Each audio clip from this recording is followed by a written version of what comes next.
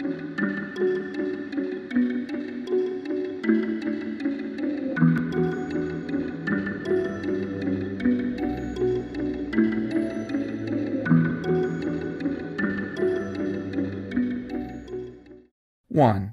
Do they need the gospel?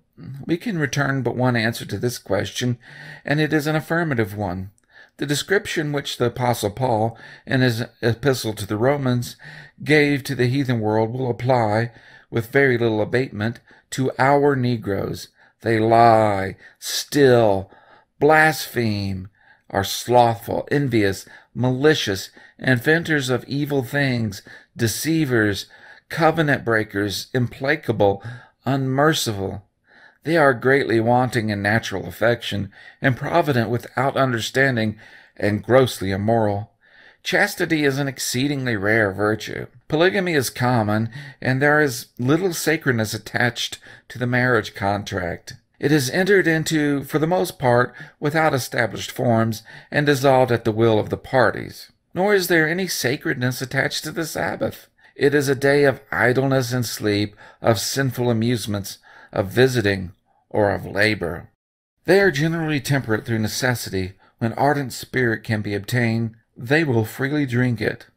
Numbers of them do not go to church, and cannot tell us who Jesus Christ is, nor have they ever heard so much as the Ten Commandments read and explained.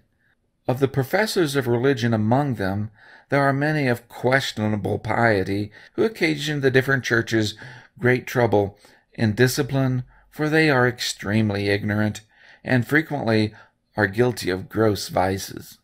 We cannot go more fully into the moral condition of these people at present.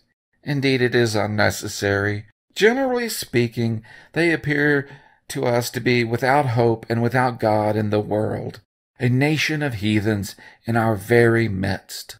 And if we believe the testimony of our own eyes and ears, and the testimony of those who know these people most intimately, we must conclude that they need the gospel, and need it as much as any people in the world do.